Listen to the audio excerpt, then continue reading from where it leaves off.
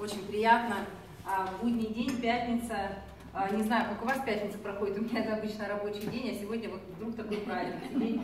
В такой прекрасной компании и просто наслаждаться. Так, а, у Лены у вас как-то получилось обычно мероприятия, конференции, все как-то так интенсивно, и не то что суета, но подготовка, а здесь как-то все на релаксе, так спокойно. Я не знаю, может это я такая себе отдыхаю. Поэтому огромное спасибо, рада всех видеть, кто здесь есть. Прекрасное время. Я буквально несколько минут хочу сказать а, то, что сейчас в моем сердце, то, что мне говорит Господь, потому что а, мне очень нравится, а, мы с мужем часто это говорим, что Господь часто дает откровение, и ты слышишь, тот, тот, тот об этом проповедует. Думаешь, так это же я вот получила, я только об этом проповедовала, и тот об этом проповедует. А я вижу, что Господь дает слово своему телу, своей церкви, то, что сейчас нужно услышать.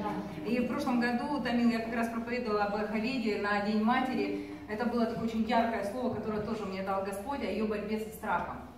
И то, что вот сейчас я чувствую, пару минут хотела с вами поделиться – вы знаете, мы очень часто, вот мы женщины, ну, мне кажется, мы более самокритичны, мы очень часто говорим о том, с чем мы боремся, над чем мы работаем.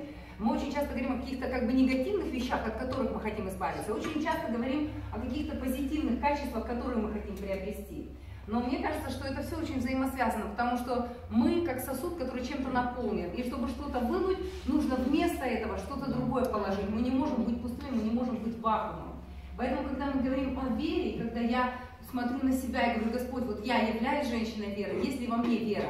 Господь показывает мне вещи, которые не пускают веру, которые препятствуют вере. Очень часто в Писании я обратила внимание, есть такая фраза, не бойся, только веру, да. и увидишь славу Божию. И вы знаете, я увидела, что вера и страх это одно и то же. Они так взаимосвязаны. Вера и страх, они же, ну мы все это знаем, конечно, я не хочу вас научить или открыть какую-то великую истину. Мы все знаем, что вера и страх это абсолютно одно и то же. Они действуют по совершенно одинаковому принципу. Только вера это со знаком плюс, а страх это со знаком минус. Когда человек чего-то боится, он просто рисует себе негативную картину. Когда он этого боится, он об этом думает, он в это начинает верить. И очень часто это приходит в его жизнь, потому что а, то, во что мы верим, оно приходит, оно действует точно так же. И я увидела это ярко также на примере Марфы. На примере Марфы я а, вообще много лет уже считаю себя адвокатом Марфы. Я ее защищаю всегда, я преподаю курсы консультирования душепопечительства и говоря о мотивационных дарах, о том, что Господь нас всех сотворил по-разному, я говорю о том, что у нас есть такой вот негативный, как бы Мария хорошая, духовная, Марфа плохая, то я ее всегда защищаю, говорю, у Марфы просто другой дар, она вот, как она видит через свои очки, своими глазами, как она видит нужду. Мария видит, что к ним пришел великий учитель, она скорее с конспектом у его ног, а Марфа женщина, ее Господь так смотрел, она видит толпу голодных мужиков, которых. Вот, но это как бы отдельная история, да, правильно. Но Иисус помогает нам всем правильно расставить приоритеты, да, вот там не написано до конца, но я думаю, что после того, как он попроповедовал и читал Марфу, он Марии сказал, теперь иди картошку чисть, потому что нам всем нужен в жизни баланс, правильно? Вот, но а, сейчас я немножко дальше продвинусь а, в истории с Марфой. Я верю, что и Марфа, и Мария, они обе любили Господа, они обе учились у него. Марфа не только картошку чистила. Вы знаете, у него были очень правильные теологические взгляды и верования. Но потом в их жизни случилась трагедия, умер ее брат. Она знала, как только он заболел, она знала, где искать ответ. Она знала, что нужно срочно посылать за Иисусом, потому что в ее сердце была твердая вера в то, кто он есть, что он может его исцелить. И они послали за ним. А Иисус замедлил не пришел, и брат умер.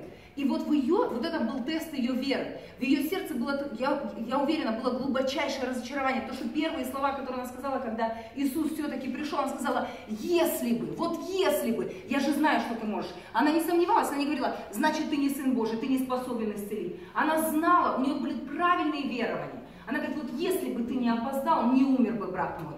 А Иисус сказал ей, я есть воскресение жизни.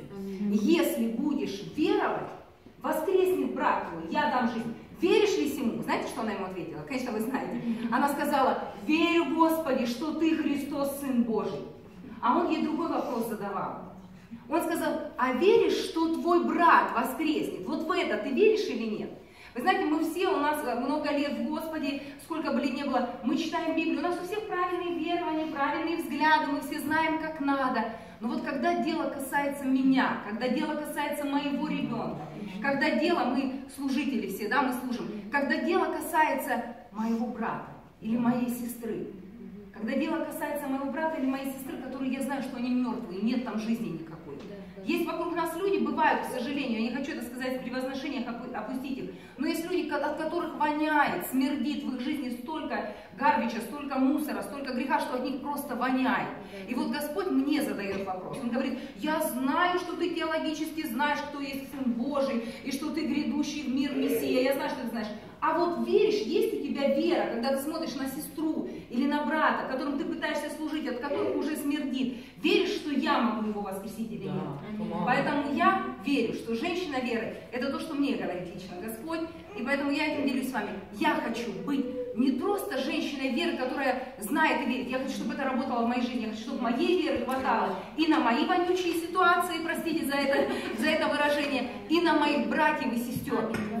Что... И он сказал, знаете, что он сказал? Если будешь веровать, то увидишь славу Божью. Да. Сейчас больше, чем когда-то, вот во мне лично, Господь возбуждает такую ревность и такое дерзновение. Понимаете, я сейчас не хочу, чтобы люди разводились или чтобы были проблемы, не потому, что мне стыдно, что у нас в церкви, не потому, что мне стыдно, что я не смогла своим консультированием помочь. Во мне большая ревность, я не хочу, чтобы дьявол одержал победу. Аминь. Я молюсь и говорю, Господь, я хочу увидеть Твою славу в этой ситуации. Аминь. Поэтому для этого мне нужна сильная вера. Какая бы ни была мертвая ситуация, Он мне говорит, если будешь веровать, то увидишь славу Божью. Поэтому я в этом процессе, я прошу Господа, чтобы Он наполнил меня, я хочу стать именно такой женщиной веры. Не только для себя, я верующая не для того, чтобы просто пропуск попасть в рай, или чтобы своих деточек спасти, но чтобы нашей веры хватало на наших братьев и сестер. Веришь, что твой брат воскреснет, веришь, что твоя сестра воскреснет. Веруй. Вот если будем веровать, мы увидим славу Божью. Аминь. Аминь.